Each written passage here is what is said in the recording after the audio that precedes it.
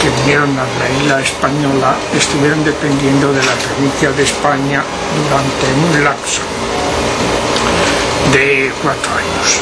A los cuatro años quedaron incorporados a la entonces creada provincia de Andalucía o de Bética. De manera que ya los religiosos quedaron integrados en esta provincia nueva que tenía aires nuevos en, todos sus, en todas sus manifestaciones.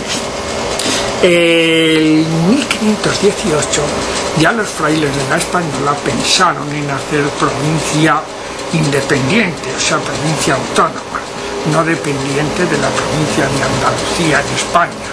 Pero el capítulo general, presidido por el entonces ya maestro de la Orden Fray de Loaiza, rechazó esta petición por considerar, primero, que era demasiado pronto la erección en una provincia cuando no tenía nada más que un solo convento como era el de Santo Domingo, ya que el de Santiago de los Caballeros aquel año había terminado.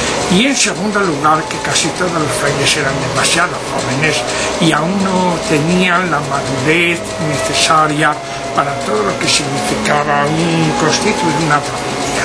Habrá que esperar, pues, hasta el año 1530.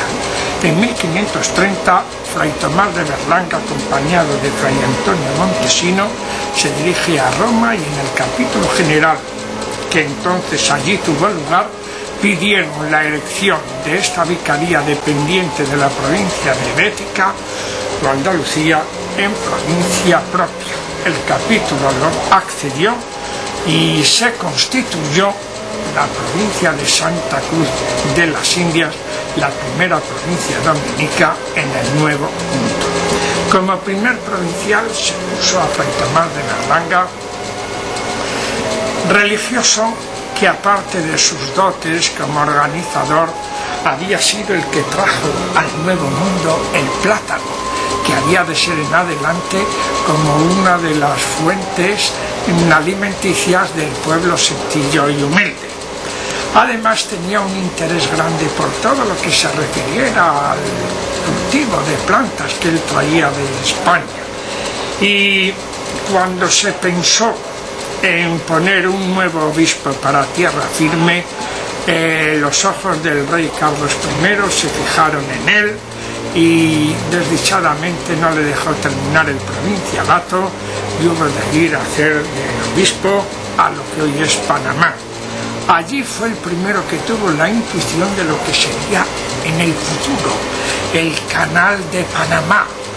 Y por eso le decía al emperador que si se lograra verdaderamente hacer navegable todo el río Chagre, en un minuto tendría de costa a costa el pasaje fácil para todos aquellos que iban desde el viejo mundo al nuevo en las partes de Bogotá, de Colombia y de Perú.